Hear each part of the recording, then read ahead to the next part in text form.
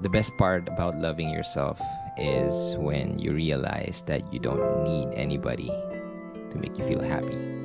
It's when you realize that you don't need a good morning text or message for you to have a good day. It's when you realize that you don't need anybody to make you feel whole because you are enough. And once you learn that, the strength that you'll have, no one can take that away from you, and you'll bring it for the rest of your life.